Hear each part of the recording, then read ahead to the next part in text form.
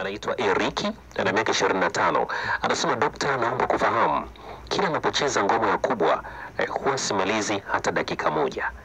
Sasa kwa upande wangu mimi nami nikawa nikawa naongezea hapa kwamba uh, wakati mwingine eh, hali hiyo si kwamba wakati mwingine inasababisha tuna lile labda joto la mwanamke Mm. eh, unajua kuna wanawake wengine na joto Mm. alafu kizingatia namna anavyolia Mm. alafu namna anavozungusha Mm. yani inakuwa kama vile mtu anachanganywa Mm. wakati mwingine sio kwamba inatokea tu kama imetokea lakini mtu anakuwa na nguvu za kutosha Asante sana, asante sana Smart Boy. Uh, ningependa kusema wazi kabisa swala hili la mwanaume kuwahi kumaliza linawasumbua wanaume kuliko wanawake wanavyolielewa. Naomba nizungumzie kwa kina ili uweze kupata picha ya kitu ambacho kiko kwenye akili ya kila mwanaume. Sawa? Ni kwamba mwanamke anapokuwa anafanya mapenzi na mwanaume anatarajia kwamba mwanaume huyu atachukua muda mrefu kabla hajamwaga mbegu na ndio hiyo ambayo inapelekea mwanamke kufika kileleni iwapo mwana- mwanaume ataweza kusugua maeneo ya kutosha katika uke wa mwanamke. Sasa tatizo sio joto la mwanamke, tatizo uh, ni huyu mwanaume mwenyewe. Sawa, jinsi gani huyu mwanaume yeye mwenyewe mwili wake ulivyo, kiasi ambacho hauwezi ikashimili msuguano wa muda mrefu. Sasa asilimia kubwa ya wanaume wamepigia wamepitia punyi, e, mchezo wa masturbation ambayo inasababisha matatizo hayo ya kuwahi kumaliza. Mwanaume anaishia goli moja, anapata muda shida kuanzisha raundi ya pili au ya tatu, na wengine wana matatizo kama hata japokuwa hawajapitia masturbation, lakini kuna mazingira mengine ambayo yanapelekea hali hiyo kujitokeza, lakini all in all misuri iliyokuwa affected ni ya aina ile ile.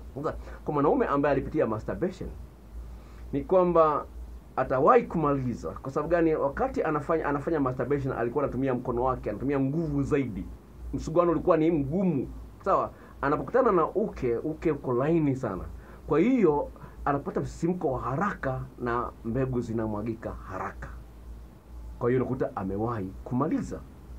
Sasa huyu itamchukua muda sana kuweza kurekebisha hali kama hiyo, lakini lingine ambalo lipo asilimia kubwa ya wanaume hawaoni muhimu wa kumwandaa mwanamke kwa muda mrefu. Unapokuwa unamwandaa mwanamke kwa muda mrefu, ni kwamba kuna msuli ambao unahusiana na kuzuia mbegu zisimwagike ambao uko juu ya korodani. Kuna, kuna misuli miwili. Kuna msuli mmoja ni mrefu, sawa, ume, kama kama bunduki bunduki zile kubwa kama gobole, sawa. Sasa sehemu ile ya kitako inahusiana na haja kubwa, sehemu ile ile ndefu inahusiana na nguvu za kiume na hamu ya ndoa. Sasa msuli wa chini ambao karibu na korodani ambao vi- vi- vi- vimekaa sambamba una um- umejikunja kama bakora. Ile inajikunja ikijaa damu vizuri inavimba, inabana ule msuli wa juu pap. Ikibana hivi mwanaume anachelewa kumaliza. Sasa unapokuwa unamwandaa mwanamke kwa muda mrefu unasababisha ule msuli ambao una sura ya bakora ujae damu, unavimba, unaenda kubana ule wa juu wa nguvu za kiume. Mwanaume anachelewa kumaliza. Sasa wewe umemwandaa mwanamke dakika tano tayari umeshamuingilia, lazima utawahi kumaliza. Lakini lingine ambalo lipo linapelekea mwanaume awahi kumaliza ni ile pressure kwamba la, lazima lazima nimfaidi leo, lazima nimfaidi. Sasa ile pressure inasababisha tension kwenye akili.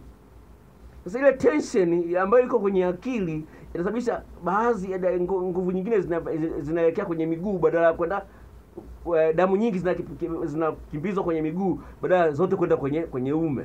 Sasa unakuta ule msuli ambao kama bakora haujai damu ya kutosha. Lingine ambalo linapelekea hali kama hiyo kujitokeza ni ni, ni, ni pale ambapo eh, mwanamke anakuwa na maji mengi kupita kiasi. Sawa, maji mengi kupita kiasi, na hii unaweza kupelekea kwa mwanaume yoyote yule, na amelifanyia tafiti lina kuelekea mada kwenye YouTube. Sawa, kwa hiyo na kuna wanawake wengine wana maji mengi kupita kawaida, wanaita excessive water. Sawa, Na kuna- yale maji ambayo yanahitajika kwa ajili kuweza kusaidia eh, kusiwepo msuguano ambako mtu akachubuka, lakini kuna wengine wana maji yanapita ziada.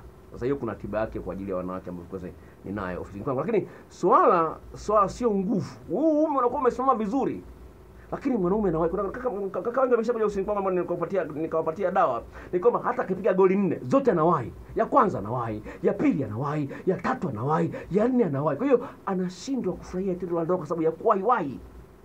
Sasa hilo ni tatizo linalosumbua wanaume sana. Wanaume anayewahi kumaliza hafurahii tendo la ndoa na anakuwa hamalizi hamu yake kwa staili kama hiyo. Kwa hiyo huyo anahitaji tiba, na tiba nayo gharama yake ni shilingi 30. Tuwasiliane niweze kukutumia.